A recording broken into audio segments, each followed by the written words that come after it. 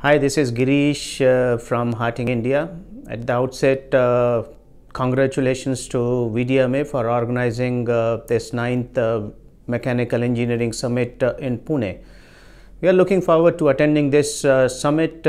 as usual, these are very well organized as well as there is an August gathering of so many professionals and we always get nice uh, information related to latest uh, technology uh, related news. So I wish them a good success for this summit. Thank you very much.